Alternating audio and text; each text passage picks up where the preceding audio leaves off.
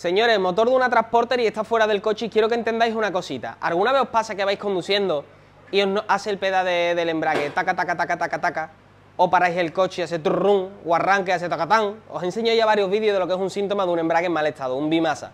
Vale, tenemos este motor aquí afuera, le hemos quitado la caja a cambio y quiero enseñar una cosa muy curiosa. Mira, venid por aquí. Por aguantar un volante motor en mal estado, ¿qué ha pasado? ¿Veis este agujero que tenemos aquí arriba?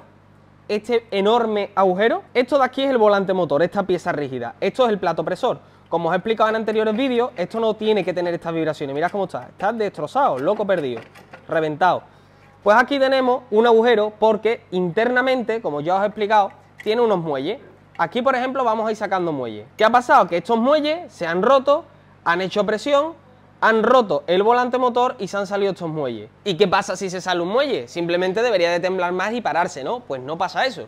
¿Qué pasa? Que si esto sale disparado a la velocidad que esto gira, mirad las revoluciones por minuto, si el coche va a 2000, es que esto da 2000 vueltas en un minuto. Estamos hablando de muchísimas vueltas por segundo. Si el coche lo llevamos a 4000, imaginaros. Pues esto sale disparado por la fuerza centrífuga lanzamos y sale disparado. ¿A dónde va esto? A lo que tiene alrededor, la carcasa de la caja de cambio. Aquí tenemos toda la caja de cambio que como veis está llena de agujeros. Mira el agujero por aquí, agujero por aquí, todo esto rosado, desgastado. Y aquí están los cachos de lo que ha salido.